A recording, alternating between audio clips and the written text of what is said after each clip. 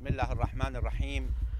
بعد نحو 24 ساعة على إعلان رئيس الوزراء حيدر العبادي سيطرة القوات الأمنية بشكل كامل على الحدود العراقية السورية.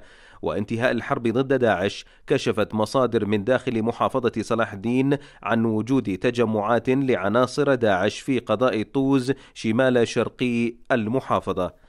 وفي بيان مفاجئ أعلنت المحافظة أمس الأحد أن هنالك تجمعات كبيرة لعناصر من داعش في مناطق تقع على محيط قضاء طوز باتجاه مناطق زنقنة وخاذ الكرم وزنقنة سالم وكفري وهو ما يتناقض تماما مع تأكيد العبادي أن العراق بات خاليا من تواجد الإرهابيين. وفي بيان لها بينت أن عناصر من داعش تسللوا إلى هذه المناطق في وقت سابق وبدأ تهديدهم يتنامى على القضاء. وعلمت صحيفة عكاظ السعودية من مصادر موثوقة بديوان الرئاسة العراقية على حد وصفها أن العبادي طلب من وحدة مكافحة الإرهاب إجراء مسح شامل لقضاء الطوز للبحث عن عناصر داعش الذين تحدثت عنهم محافظة صلاح الدين.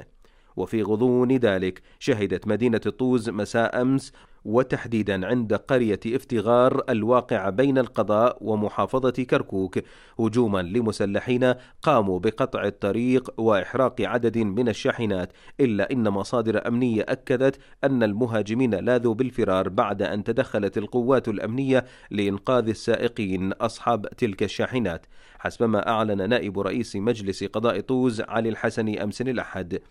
هذا وتشهد مدينة الطوس بين الفينة والأخرى هجمات لمسلحين مجهولين يعتقد أنهم ينتمون لداعش إلا أن الجهات الأمنية سرعان ما تتدخل لإحباط تلك الهجمات فيما يرى مراقبون أن الأمر لم يعد سرا وإنما الملف الأمني لا بد من أن يكون مشتركا بين كافة الأجهزة الأمنية لأنها مسؤولية الجميع.